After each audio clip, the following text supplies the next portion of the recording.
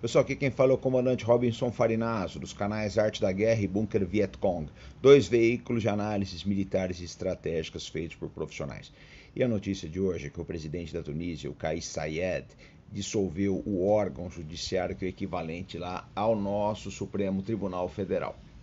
O que acontece? Ele alega que essa Suprema Corte tunisiana estava atuando como um Estado, estava saindo da sua esfera de atribuições, que os juízes tinham diversos privilégios, etc. Então ele dissolveu a Suprema Corte.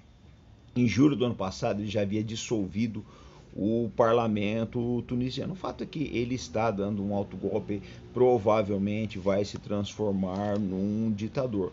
Mas a ingerência da Suprema Corte da Tunísia já estava começando a gerar muito descontentamento naquele país. Vamos continuar acompanhando. Até mais, pessoal.